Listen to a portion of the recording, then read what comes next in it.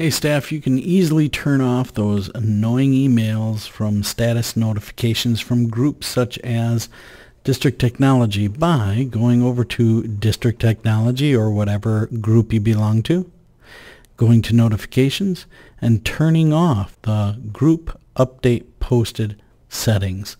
When you're done, hit save changes and you won't get those coming to you every time somebody asks a question. The benefit of this is that you do not have to leave the group. You can always still be a part of the group, but just not get those notifications.